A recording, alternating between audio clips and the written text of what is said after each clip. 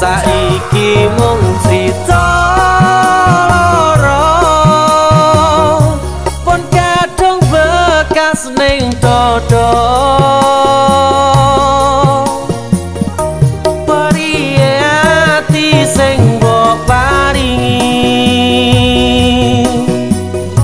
Wes cukup ra bakal tak ba